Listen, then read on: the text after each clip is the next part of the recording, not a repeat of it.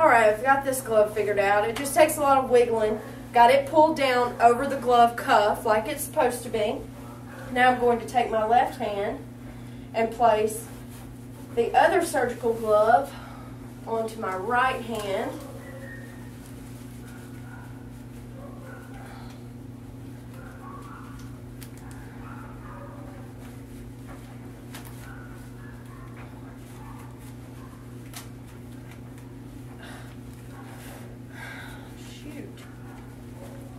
Touch the outside of it.